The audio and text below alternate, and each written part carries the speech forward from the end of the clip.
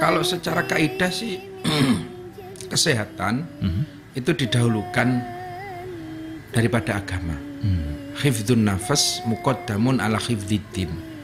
Tapi bukan berarti kita terus menyepelekan agama, tidak bisa. Orang sering bilang ya, Ya.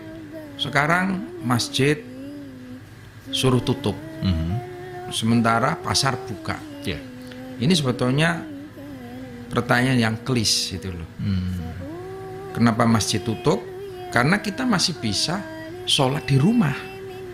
Kita masih bisa berdoa di rumah, itu kan? Iya. Sementara pasar tetap buka, karena kita nggak bisa belanja di rumah.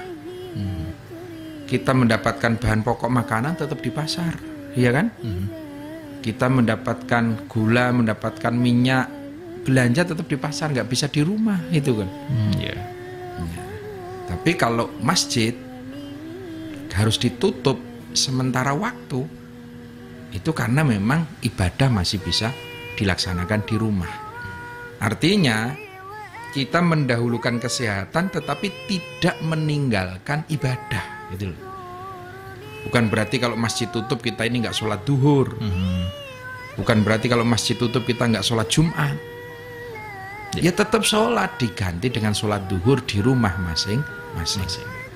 Rasulullah Shallallahu Alaihi Wasallam itu memberikan satu contoh.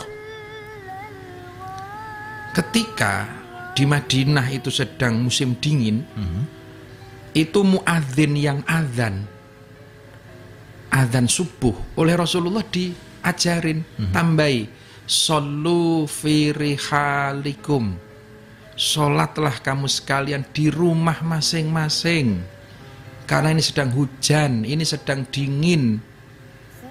Itu oleh Rasulullah diperintahkan adzan subuh di akhirnya ditambah solu firihalikum.